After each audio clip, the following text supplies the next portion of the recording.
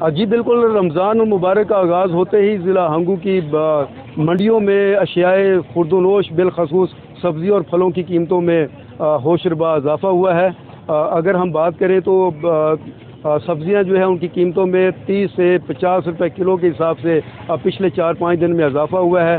प्याज जो है वो पचास रुपये किलो फ़रोत हो रहा था, आज उसकी कीमत सत्तर से अस्सी रुपये किलो है। अगर हम टमाटर की बात करें तो चालीस रुपये किलो फ़रोत हो रहा है, दो दिन पहले ये पच्चीस रुपये तीस रुपये किलो फ़रोत हो रहा था।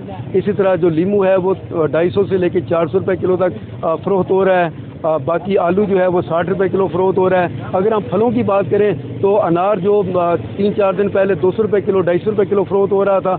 आज अनार की जो कीमत है वो चार सौ रुपये किलो आम मार्केट में है।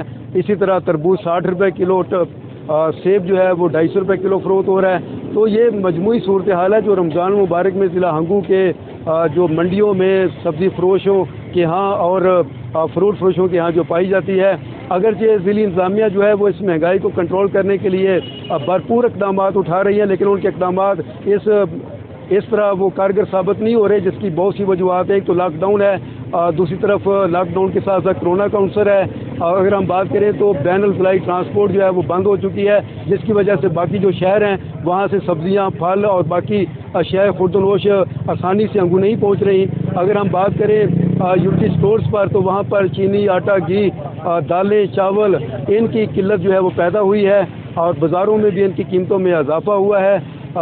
District food controller Salauddin Khilji साहब रोज़ाना की बुनियाद पर मंडियों में छापे मारते हैं, कीमतों का तयन करते हैं, लेकिन ये उनके बस की बात नहीं है कि वो इन चीज़ों को कंट्रोल किया जाए।